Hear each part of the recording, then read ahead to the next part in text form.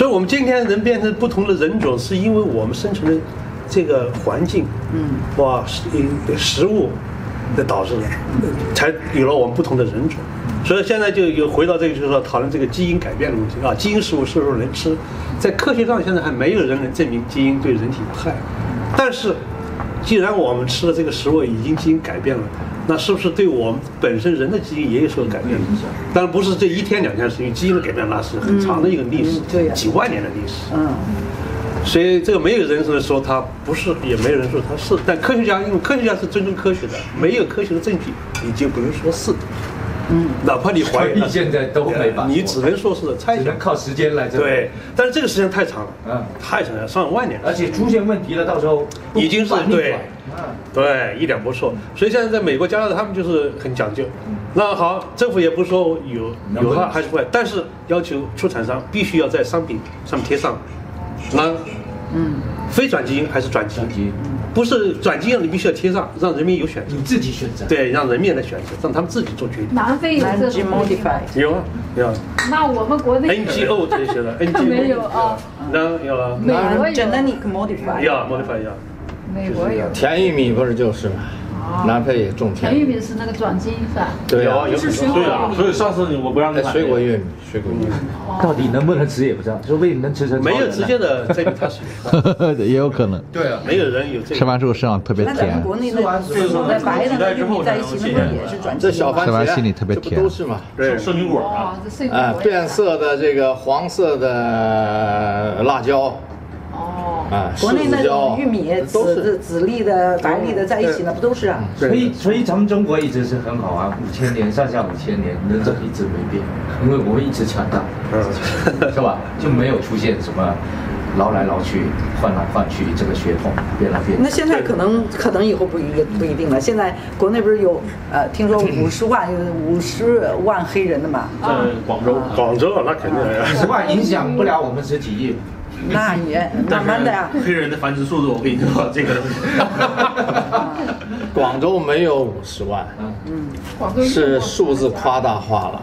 哎，你到黑人街也有那么一小撮，确确实实黑人在那儿谋生。但实际上我去到我我去到那儿去，我一个朋友专门拍黑人街，就广州嘛，黑人街嘛。实际上黑人在广州也是没有办法，想做生意又想挣钱，但是实际上他们不喜欢广州，哎，包括在黑人在开酒吧的，他们最想回的还是自己的家乡，哎，还是回自己家乡，不想。不是日本人曾经在怕热里面是怕热。首先他在广州热都受不了，比非洲都热。对呀、对，得回回晚上，特别是晚上，你白天热很正常。对对，特别是晚上。还是而且我？们政府管得很严，政府管得很严。哎，这个他们在在广州还是被被管的，或者说对对对，哎，还是蛮蛮严格的。还，呃，怎么说呢？就是我们现在想接受黑人，现在从方方面面呢，还有一个过过程。我们现在很多非洲留学生，其实也带来很多负面的这个这个这个这个影响，不好的影响，包括和中国人的通婚的也好，还有一些不检点的行为也好，还有其他方面的生活习惯也好。留学生或者孔子学院什么过去的，应该还算好，这些都有底有什么？那是对广州广州那些流窜的那些黑的，黑下来的黑的，对那些最麻烦，对抓得到。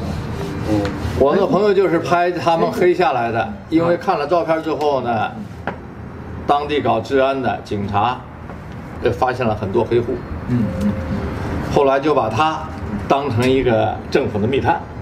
啊，其实他和你们一样是自由摄影者啊，就是拍一些生活场景，喜欢描写这种对对对对嗯对。那么他现在就受到政府的关注，说你不能乱拍。黑人也说你也不能乱拍，哎，你也不能乱拍，你可以拍，这个就尴尬。但是你不能乱贴照片儿。嗯，一贴照片儿，有的黑户呢就被抓走了。嗯，哎，有这种情况不止一次，中国政府不止一次。不让他乱拍干嘛呢？报道啊，你私人报道应应该经过政府审核的，不然对国家形象呢、国际关系啊都搞得了乱七八糟。就是你一个摄影、一个照片就形成很大影响，知道吧？对哎。这我我记得有一次在那个广州那边，就是好像是就是咱们国家遣抓了一些尼日利亚的人，然后遣送了嘛。然后呢，马上尼日利亚就开始抓华人，这都是是对相互的。对相互的啊。嗯，所以说这个，因为我们黑人在广在在我们国家，他只能是怎么说呢？还有这个我们这个华人在这个这些非洲国家，总体来说还是这个利大于弊的，还是总体来说，因为大多数的华人在这边就是可以说是就是传播中国文化呀，就是然后倾销我们中国的这个这个货物呀，是不是？带动经济发展。对啊，这个总体来说，这个还是，所以说我们国家不敢那么太太来管这个黑人，太来抓这个黑人，我是这么认为的。现在我们更依赖非洲了。现在没有办法。双现在双方没有办法，非洲有一条路了，你我们就剩非洲这块大陆开始抓华人，那我们损失比他们要大呀。对，啊，而且尼日利亚的黑人特别明显。一带一路与非洲现在就是这样。互相互相交融吧，互相交融，呃，融合在一起。需要需要一个磨合。嗯，因为跟欧美已经那样了。我们现在政府是提倡民间加强民间交流，哎，提倡因为什么呢？老是政府与政府的交流是比较生硬的，它需要靠文件相互的签署，形成官方的文本，最后的形成经济援助。但是这种东西太生硬，所以说需要我们民间的，就是和非洲本土人呢多接触，哎，文化交融，直接真诚地文化交融。条条框框就限制了。而且中国人对指非洲，那其他国家不知道，反正对南非是真的不了解。经常说哎呀，跟我们想象的完全不一样，跟国内报道的完全不一样。我们想出来还心里担心呢，啊，是不是？在在约堡都不敢租车啊，去德班的开始租车，哦来这边开始租车，约堡都不敢自己去。来这边晚上就开始乱窜了。别别说这个这个，你们在国内就是就是这样，就是我在南非待了这也十多年了，嗯，到目前为止我还认为约堡我不敢去那个地方。啊，约堡确实，现在我们约堡约堡其实可以。以，约堡其实还可以现在。那你看区域，你必须区域各个点点清楚了，这些禁区就是不能进去。像昨天晚上进去了，你出不来怎么办？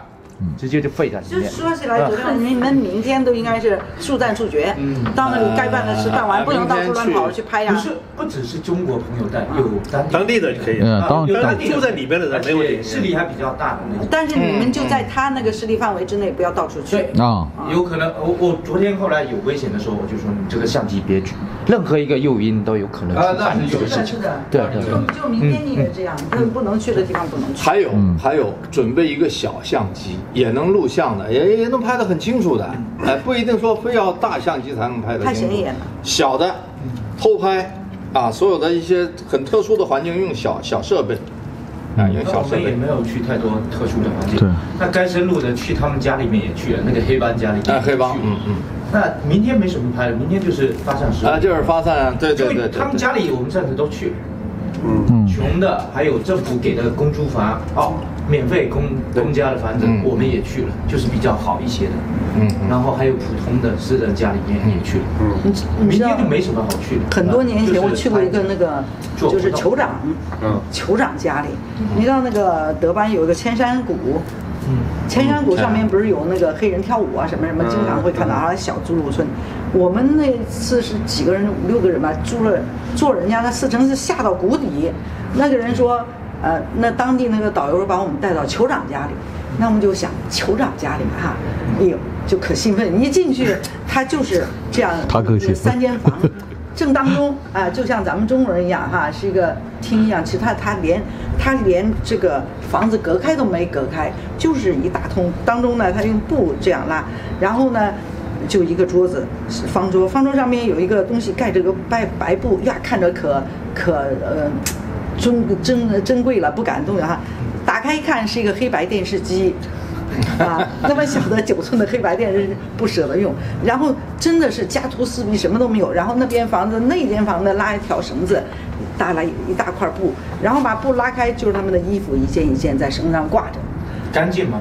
啊啊，干净吗？还可以，它没什么东西，什么干净不干净，它就是那整个村落呢？整个村落发我们没有去到那个整个村落，他就在这一块儿，那他住的可零散了，车要这样开很，然后我们出来以后。呃，看到一池水哈、很小一个水坑，那上面那个绿的绿茵茵的，长得那是那真的不知道苔藓然后那个导游说，他们吃的就是这种水。哇，你看着真的是落后啊。那他然后他们小孩上学，经常有人过去。没有没有，这小孩上学呢是要从这个谷底要爬到山顶上走十几公里去上学，每天就这样子，啊。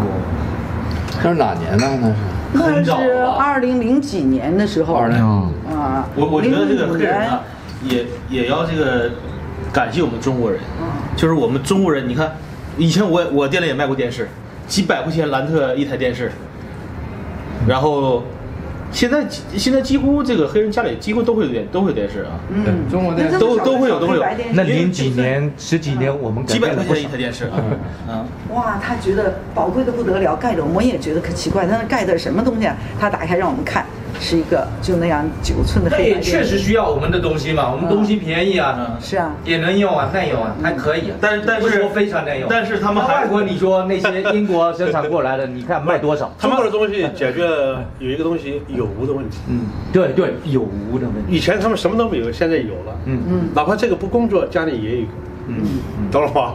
是中国是是首先把这个把这个全世界就全世界人要要嗯。全世界。要高端也有啊，现在。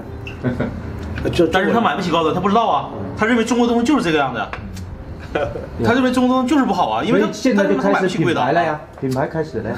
他买不起现。在都知道，嗯，海信在这儿卖的非常好。海信，但是也是不是很高端的。我我对象对对对对，就在海信工作，海信不算高端的，但是在南非，嗯在整个非洲地区，海信还是对，卖的。他也算品牌了，他也哎在提升这个，在海信真一直在在提升啊，一直海信。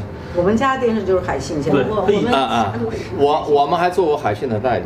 哦，哎，那时候最早，啊，那个有点乱，那时候就是后来就没有做起来，也没有心思做，嗯，啊，没心思做。其实那时候要做起来，现在应该是做的比较大。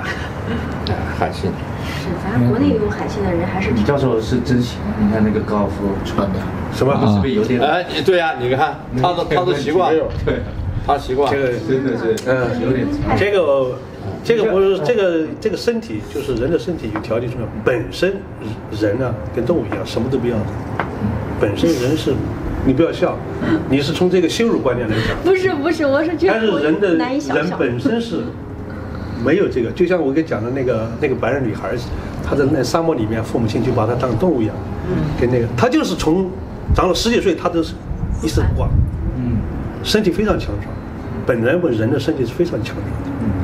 我们现在要要要医生，原因就是我们被现代生活太 spoiled，让我们自己失去了真正的应该有的抵抗力，真的。对，还对，那还有一个一点就是能证明，就是你看这个南非人有很多人，他以前他是不穿鞋的，嗯，他不穿鞋的，最早那个他不穿那个赤脚大他，不穿鞋，他他他走的非常好，非常舒服。你像我们这个还要什么脚底按摩呀，什么马杀鸡啊什么的，这非洲人不要了。他们在沙滩上走一走的话，一很百米，觉得好疼啊？但 是接地气。本身是不要这个。原来那个田径去世界那个这田径左浪呀赛的那个，那叫什么来？左浪。哇，那赤脚大仙嘛，咱们都叫南非的一个长跑的中长跑运动员 Zola 光着脚跑，啊，呃，因为那个时候全世界制裁南非，他签人家装备很好，他光脚跑得更快。他拿了世界冠军啊，但是他没法参加世界比赛，因为当时全世界制裁南非。